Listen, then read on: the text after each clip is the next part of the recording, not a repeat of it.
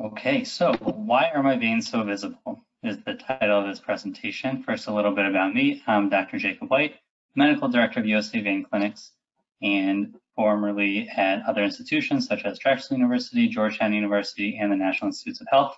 I'm a vascular and interventional radiologist, which makes me um, very prepared and able to talk about vein disease. And I've now been the medical director at USA Vein Clinics for a couple of years.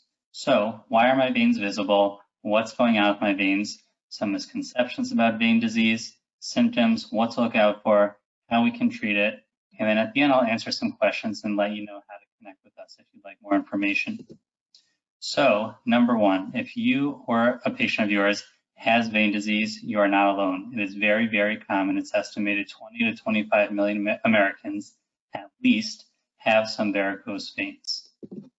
So why is it so common? First, let's talk a little bit about how the veins work. And we're going to be focusing just on veins in your legs, okay? Here's a picture of a vein in your leg. On the left is when your muscles are relaxed and the blood is more just sitting there. And then on the right, as we start to walk, the calf muscles in our legs squeeze the veins and pump the blood up back towards our heart. Our veins naturally are relatively weak and cannot pump the blood by themselves. So they're reliant on the muscles in our legs to help move the blood back to our heart.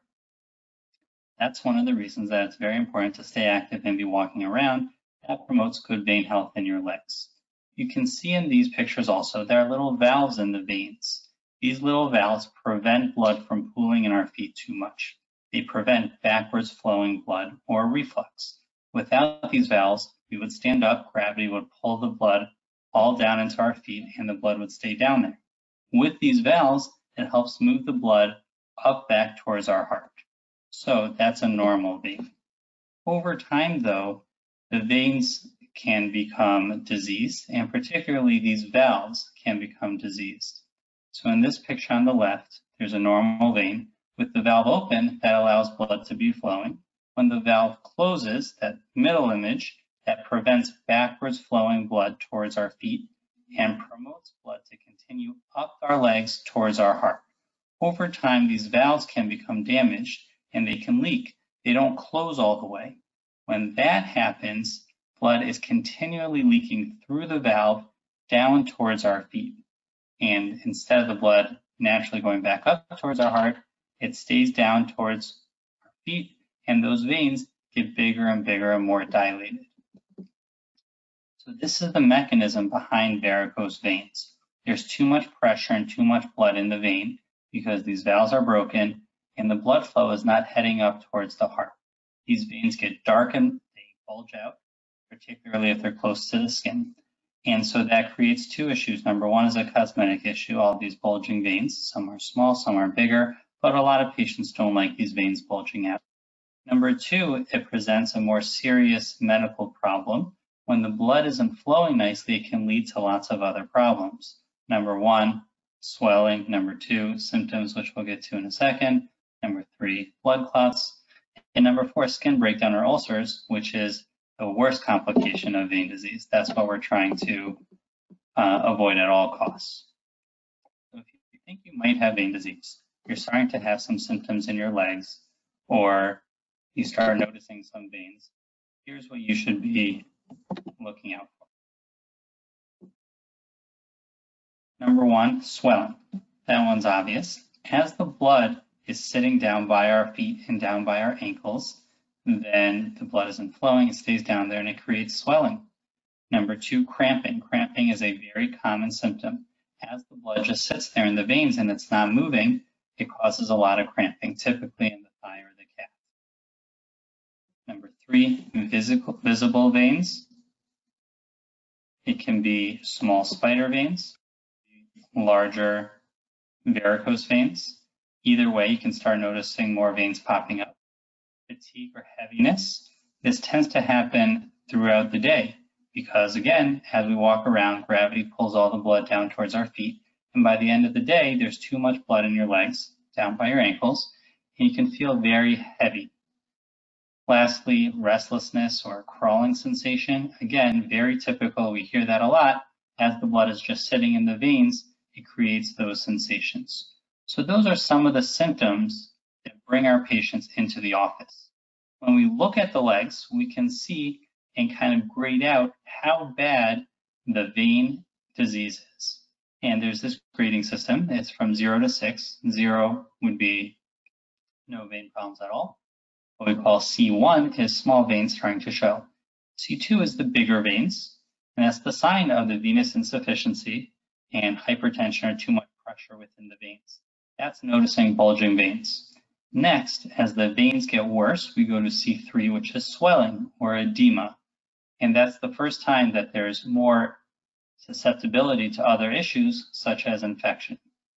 The next step, C4, is skin changes.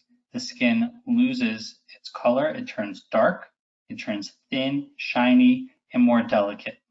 And then C5 and C6 are reserved for the most severe type of vein disease, which is ulceration, or when the skin breaks down. You can visibly see the layers underneath the skin. And because the, the blood is not flowing through the veins, it's very hard to heal these wounds. And so these become very chronic and ultimately can lead to an amputation if not treated properly. So this is kind of the spectrum or the progression of vein disease in the legs. We like to treat it obviously earlier before it gets too bad. So now that we've identified vein disease, we're in the office, we have the patient there, what is it that we can do for the veins? Okay, so there's two things that we can do. The first that we always start with is conservative treatment. It's easier to do, and it helps for more mild disease. And the goal is, remember, we're trying to get good blood flow. We want the blood flowing from the feet back up towards the heart. And if these veins can't do it by themselves, the veins are weak, the valves are broken, we have to help support those veins. So here are the things that we can do. Number one, compression socks. They're just tight socks, that's all they are, but they're tight enough to help support these veins. And when we prescribe compression socks, the number one, very tight, so they are a little uncomfortable, admittedly. And number two, they're special in that it's what's called graded compression. So it's tighter down by the ankle and a little looser up top by the knee or the thigh to help bring the blood back up towards the heart. That's number one, compression socks. And as I'm sure you can guess, you really want to be uh, wearing them during the day when you're sitting and standing. At night, when you lie down, it's not as big of an issue for the blood to flow because it's not fighting gravity, and you don't have to wear the socks at night.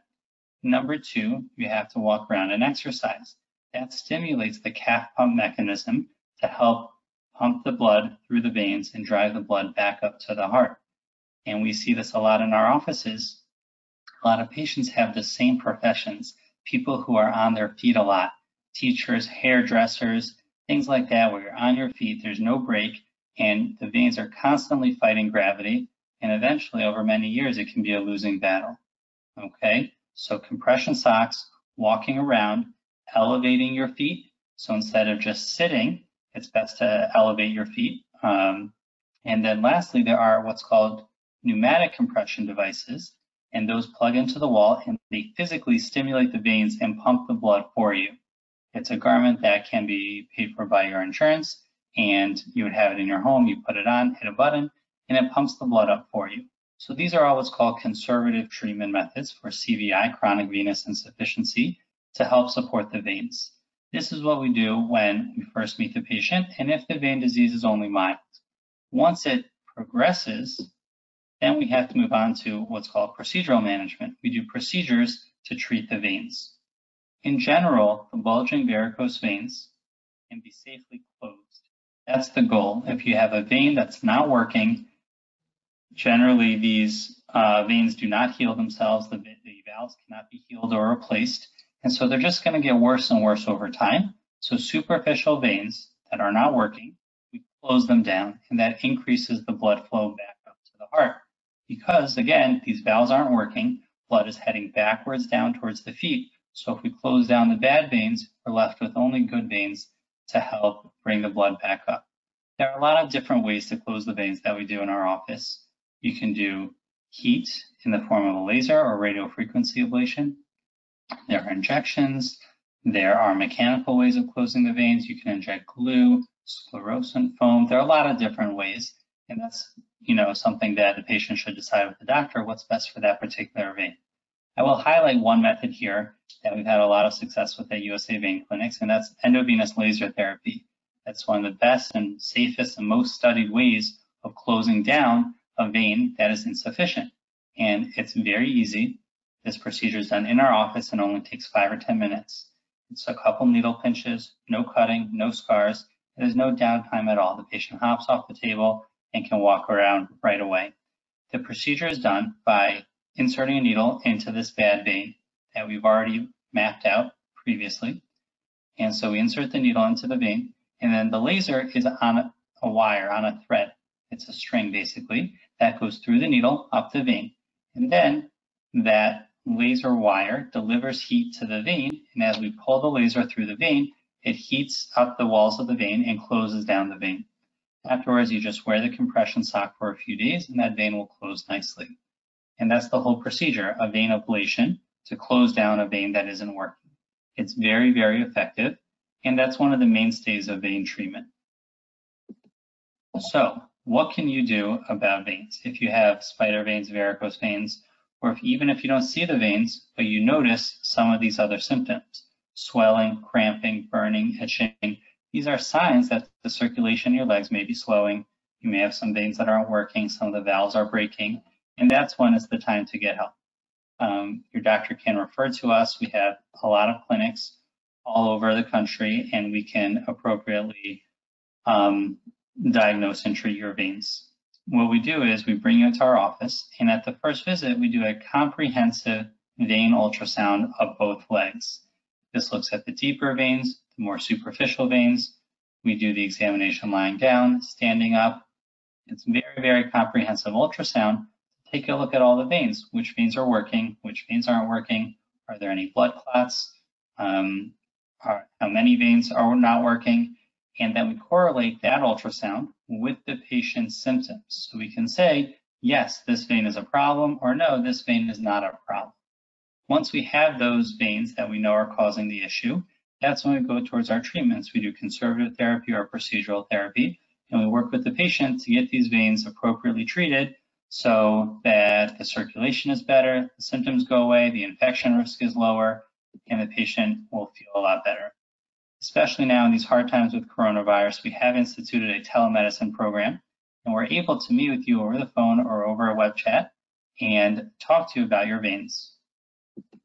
Much like this person here in the comfort of her own home on her couch, you can go to our website, uh, usaveinclinics.com, and we can um, speak to you either over the phone or over web chat and talk to you about your vein disease and what it is we can do for you and then bring you into our office and do an ultrasound or decide whatever treatment it is that would be right for you. So thank you all so much for joining us. It was a real pleasure to bring you this information.